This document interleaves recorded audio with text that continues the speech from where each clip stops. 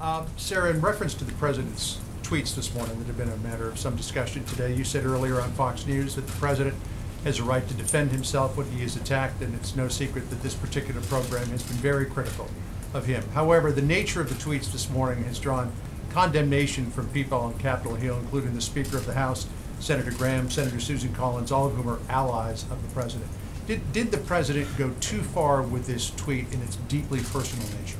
Uh, I don't think so. I mean, I think that the president has been uh, attacked mercilessly on personal accounts by members on that program. And I think he's been very clear that when he gets attacked, uh, he's going to hit back. I think the American people elected somebody who's tough, who's smart, and who's a fighter.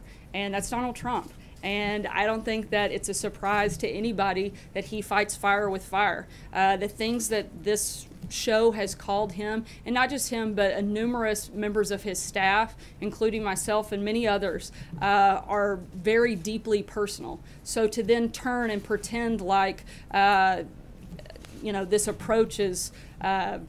I, I guess it's kind of like we're living in the twilight zone. They do this day after day after day, and then uh, the president responds and defends himself, and everybody is appalled and blown away.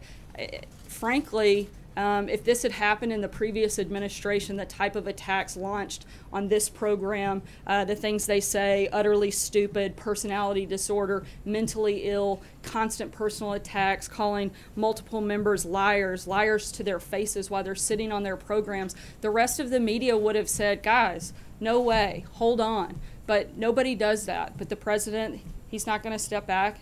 He's showed that, and that's exactly what he did today. If I, if I could just follow on that, Sarah, if I could just follow on that. A, a- a couple of the criticisms from supporters of the president have been that this particular tweet was beneath the dignity of the office.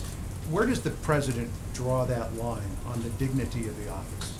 Look, I, I, I think that um, he shows that every day in the decisions that he's making, the focus and the priorities he's laid out in his agenda.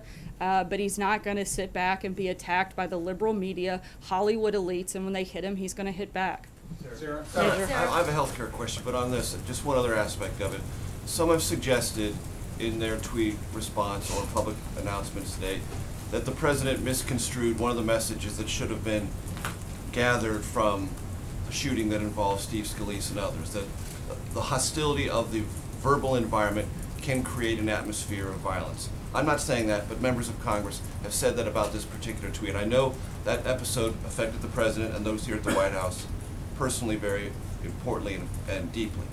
Do you have any reaction to that sentiment that conversations like this create an atmosphere that is either dangerous or one we need to avoid? The president, in no way, uh, form, or fashion, has ever uh, promoted or encouraged violence. If anything, quite the contrary. And he was simply uh, pushing back and defending himself.